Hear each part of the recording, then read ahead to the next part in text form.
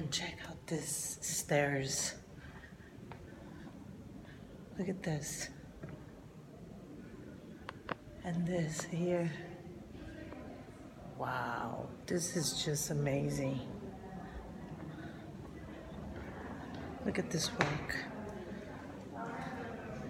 This iron work with gold and these beautiful stairs. I heard there's a room there where Napoleon's uh, nephew used to do all his parties.